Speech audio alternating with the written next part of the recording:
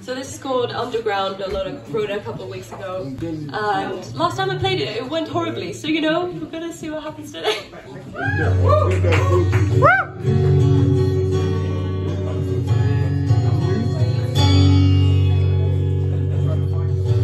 hey there, little child stayed up later than barely sleeping, talking about the future.